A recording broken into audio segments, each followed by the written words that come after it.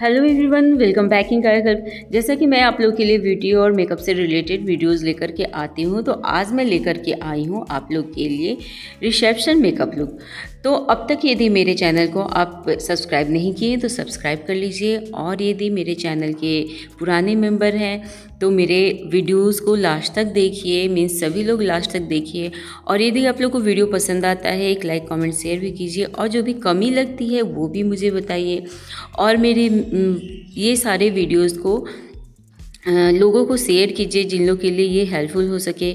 और please please please मुझे ज़रूर आप बताइए कि आप लोग को ये वीडियो कैसा लगा और मेरी ये ब्राइड आप लोग को कैसे लगी। तो जैसा कि सबसे पहले मेकअप के पहले सीटीएमएल करना है तो यहाँ पे क्लिनजिंग हो रहा है और इसके बाद होगा टोनिंग, जैसा कि आप जानते ही हैं। तो टोनिंग करना है, टोनिंग के बाद मॉइस्चराइजिंग और उसके बाद प्राइमर। तो ये सारे कुछ को यहाँ पे आपको करना है और उसके बाद ही मेकअप स्टार्ट होता है। तो गैस आज मैं सबसे पहले स्टार्ट कर रही हूँ आई मेकअप से। तो आई मेकअप जो है वो सबसे इंपॉर्टेंट होता है। इंपॉर्टेंट तो ऐसा सब कुछ होता है, लेकिन आई मेकअप मेकअप में बहुत इंपॉर्टेंट होता है। आजकल बहुत ज़्यादा ही ट्रेंड में है।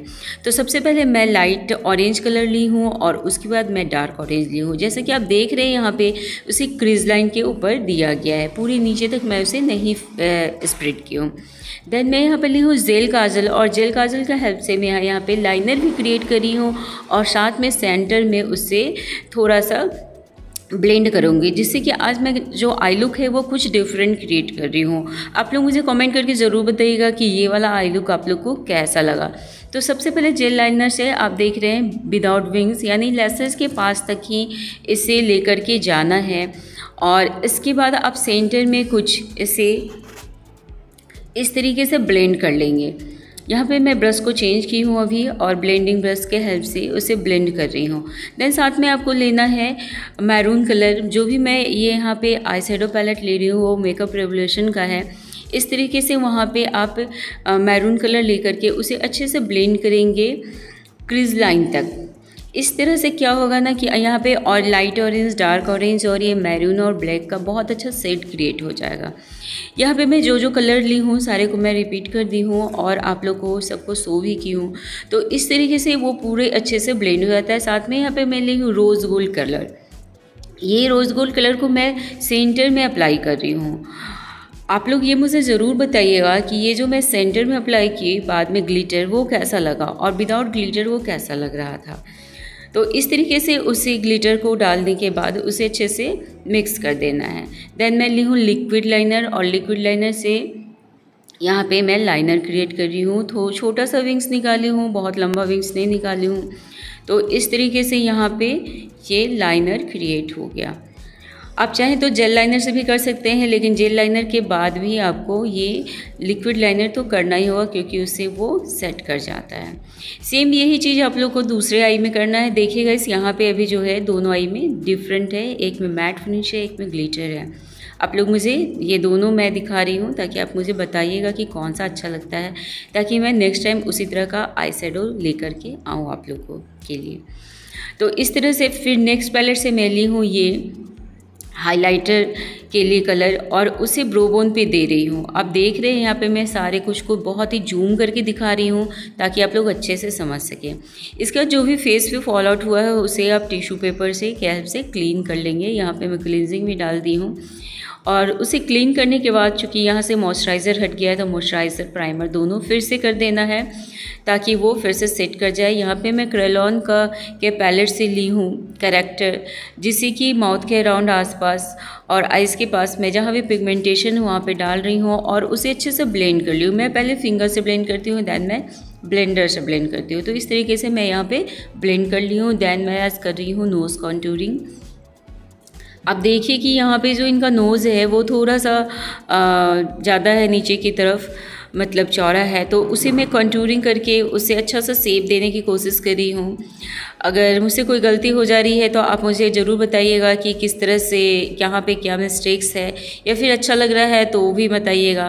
देन या मैं फेस को कंटूर कर रही हूँ, मैं इस फेस को कट कर रही हूँ। कंटूरिंग क्या होता है गाइस ये एक तरह से फेस पे सेट क्रिएट कर, किया जाता है। जो एरिया आपको नहीं चाहिए, उस एरिया को आप सेट कर देते हैं ताकि वो खासकर पिक्स में नहीं आता है पिक्चर में नहीं आता है। यहाँ पे जो मैं फिर से फे, ये लिप्स के पास कंटूरिंग कर रही हूँ चिक्स का, वो लिप्स से लगभग दो, एक इंच मीन्स दो अंगुल, दो, एक इंच थोड़ा सा दूरी से आप इस तरीके से करेंगे जैसे यहाँ पे मैं की हूँ।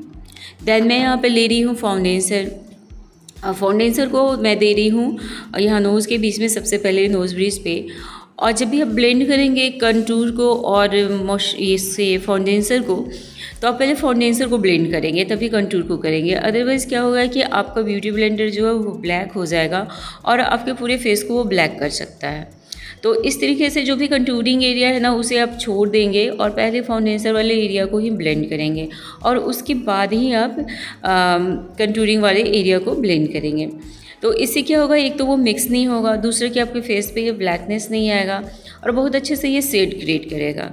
अभी मैं ये हाफ़ फेस में ही कर रही हूँ और मैं जब भी करती हूँ तो मैं थोड़े थोड़े क्वांटिटी को लेकर के थोड़ी थोड़े एरिया को करते जाती हूँ। इससे क्या होता है, वो सूखता नहीं है।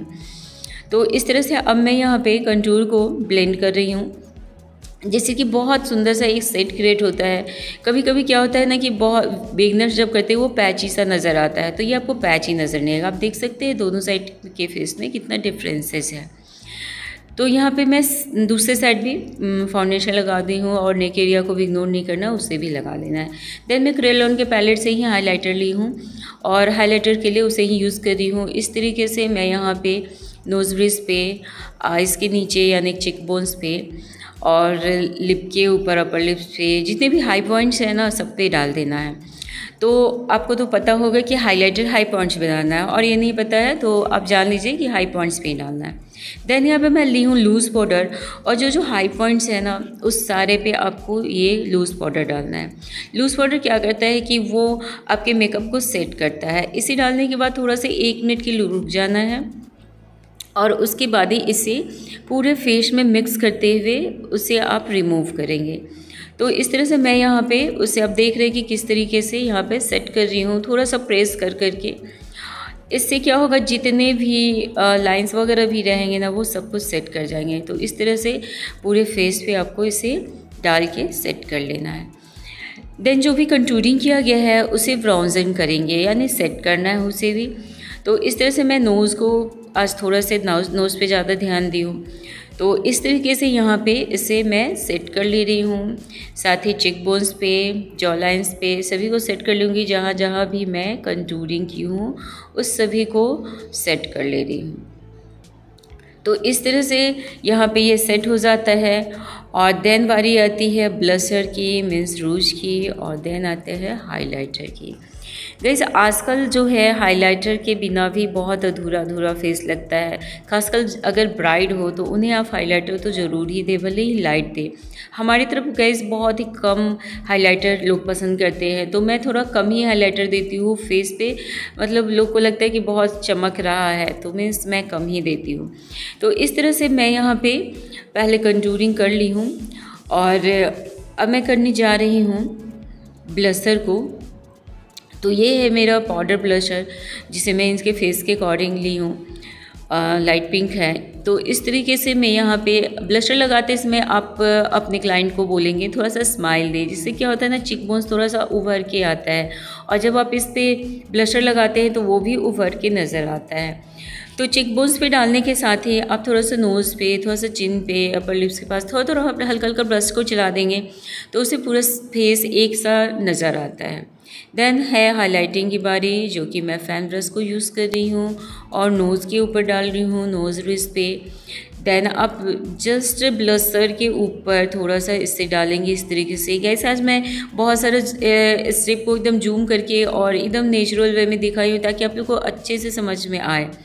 तो यदि आज का वीडियो आप लोग को अच्छा लगता है ना तो प्लीज़ एक लाइक कमेंट ज़रूर कर दीजिएगा। और क्या कमी लगती है, वो भी मुझे बताइएगा, ताकि मैं नेक्स्ट वीडियो में उस सारे को दूर करके आप लोग के लिए वीडियोज़ बना के लाया करूँ।